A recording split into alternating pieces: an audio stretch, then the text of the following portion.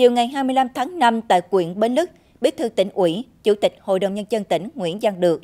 Phó Chủ tịch Ủy ban Nhân dân tỉnh Nguyễn Minh Lâm cùng đoàn công tác đến thăm khảo sát mô hình sản xuất nông nghiệp kết hợp phát triển du lịch Javi Garden của Công ty Cổ phần Thương mại và Đầu tư Chanh Diệt Long An.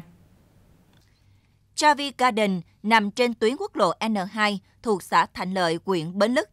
Xuất phát từ nhu cầu phát triển kinh tế gia đình và địa phương, ông Nguyễn Văn Hiển và Cộng sự đã quyết định xây dựng Travi Garden.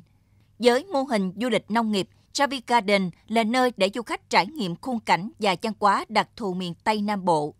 Bên cạnh đó, du khách cũng sẽ được tìm hiểu về mô hình làm nông nghiệp và hoạt động chế biến sản phẩm từ nông sản.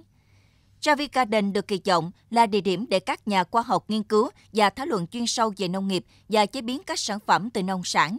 Đồng thời, giúp học sinh sinh viên có điều kiện thực tập và biến những ước mơ, ý tưởng khởi nghiệp thành hiện thực.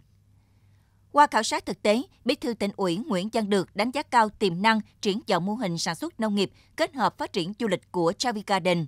Trong thời gian tới, Bí thư tỉnh ủy yêu cầu các sở, ban ngành và địa phương kịp thời hỗ trợ, tháo gỡ khó khăn, tạo điều kiện thuận lợi cho công ty phát triển. Đặc biệt, chú trọng kết nối thực hiện các chương trình hợp tác liên kết du lịch với thành phố Hồ Chí Minh theo hướng linh hoạt. Bí thư tỉnh ủy cũng nhấn mạnh Mô hình du lịch nông nghiệp của Travi Garden không chỉ góp phần quan trọng trong việc phục hồi và phát triển ngành du lịch của tỉnh Long An, mà còn nâng cao giá trị cây chanh và những sản phẩm từ chanh.